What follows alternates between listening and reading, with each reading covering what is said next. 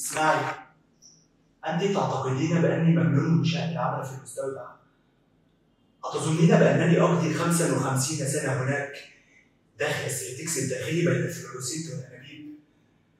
انظري أنا أفضل أن يحطم إنسان حكومتي على العودة غدا ولكن مع ذلك سأذهب سأذهب في وقت ترددون فيه هذه الكلمات الملعونة.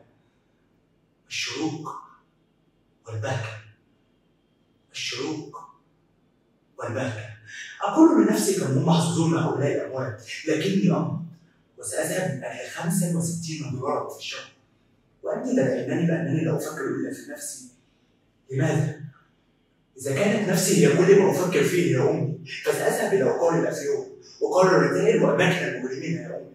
أنا قادر أقول أحمل مدفع رشاشا في حقيبة كمان. أقود مجموعة من القطط والمنازل في الوادي.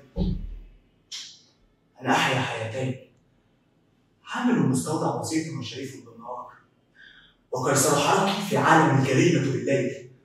انظري أعدائي يخططون نفس هذا المكان بالديناميت. سيفجروننا جميعا يوما ما وسأكون ممتنا سعيدا جدا.